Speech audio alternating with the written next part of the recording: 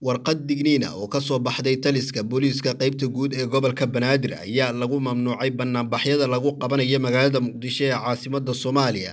xilli ehelka jenaraal sheegow ay qarsheenayaan in banaanbax weyn toddoba iyo labaatanka bishan oo ku beegan biri ay ku qaban doonaan magaalada muqdisho ee caasimada soomaaliya sida ay kal horeba shaaciyeen hase ahaatee qoraalkan ka soo baxay taliska qaybta guud ee booliiska gobolka banaadir ayaa lagu mamnuucay qabashada banaanbaxyada lidiga ku ah amniga caasimadda ee aan loo soo marin habraacyada. Sharciga ah waa sida lagu yiri bayaanka ka soo baxay booliiska gobolka banaadir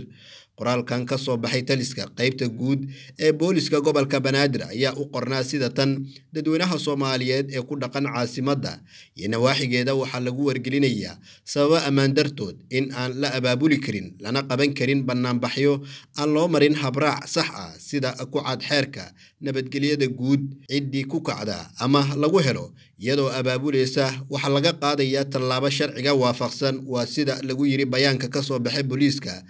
guud ee gobolka banaadir. Dhinaca kale taliska qaybta guud ee booliiska gobolka banaadir gaar ahaan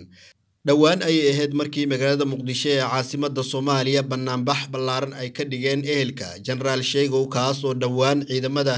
booliiska soomaaliya iyo taliska. Xoogga dalka soomaaliyeed ay gacanta ku dhigeen kana soo qabteen degmada dharkeenley ee gobolka banaadir kuna eedeysan sida ay sheegeen hay'adaha ammaanka in uu khalqalgelinaya amniga caasimadda islamarkaana uu magangelyo siinaya ragga dhaca ka geysanaya iyo dhibaatooyinka ku haya shacabka. Gobolka banaadir waa sida ay hadalka u dhigeen. Cabduqaadir maxamed c b a